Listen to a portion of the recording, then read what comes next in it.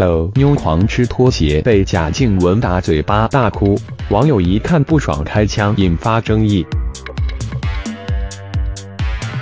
根据 ETtoday 星光云报道，贾静雯对于教育孩子一直有一套自己方法，从来不受网友或是观众影响，坚持做自己觉得对的事情。节目中，步步与欧妞为了抢手机吵架，步步硬抢过来后，欧妞直接爆哭。贾静雯见状，直接上前要步步把手机给他，并跟他说：“我说过了，没有同意不能拿手机。”步步最后乖乖投降，将手机给了贾静雯。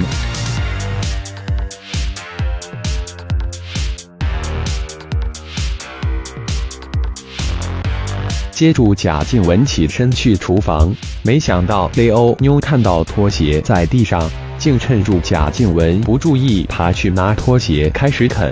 之后贾静雯看见，急忙跑来将拖鞋拿走。B O 妞发现拖鞋被拿走，开始爆哭，更不受控制的一直想拿拖鞋来吃。贾静雯最后拍打 B O 妞嘴巴，严厉的说：“拖鞋可以吃吗？”之后，B O 妞想拿一次来吃，贾静雯就会轻打她嘴巴，让 B O 妞知道这是不能吃的东西，若是吃就会被妈咪打嘴。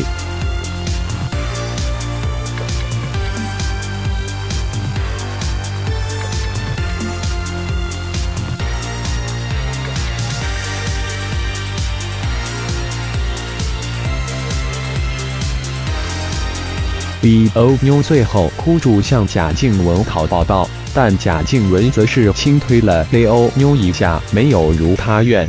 他想让 B O 妞知道来做错事情，大哭跟讨抱抱是没有用的。贾静雯这样的教育法引起观众争议，有部分的人认为绝对反对打小嘴，尤其当电视机面前。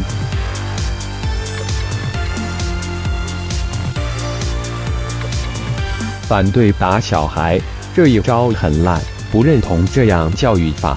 其实贾静雯也知道，不管怎么做，教育一直都是很主观的事情，一定会有人支持或反对，因此也出面表示自己的看法。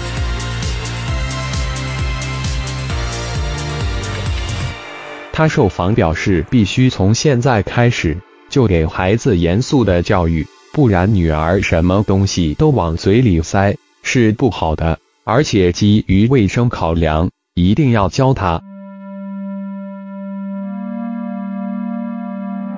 网友听了后也声援贾静雯教小孩的方式，直呼贾静雯真的是很棒的妈妈，有耐心、爱心，懂得怎么教小孩，欣赏她在荧幕上教小孩，想必压力好大。